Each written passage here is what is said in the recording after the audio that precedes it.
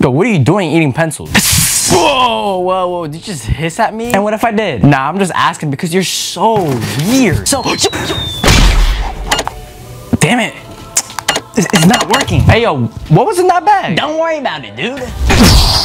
You think it's funny to throw backpacks at people? Damn it! I've been training for decades with Sensei, and he beats me up just like that. Buddy, we don't have all day, alright?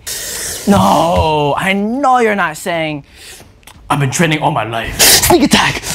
Whoa! What? Ah! What you doing, bro? Come on, why would you shout out your next move? Yo, Jimmy, I would never go like that.